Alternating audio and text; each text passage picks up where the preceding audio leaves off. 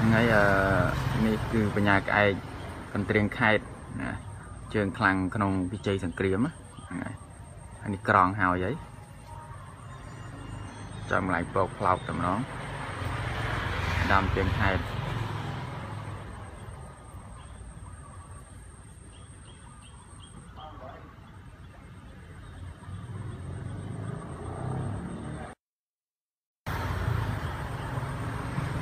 ថ្ងៃអឺ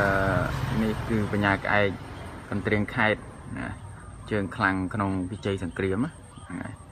អានេះក្រងហើយហីចាំម្លាយពកផ្លោកតែម្ដងដាំជើងខេតថ្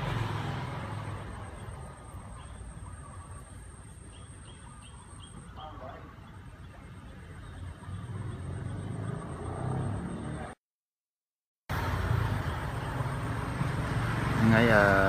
នេះគឺបញ្ញាក្អែកកន្ទ្រៀងខេតណា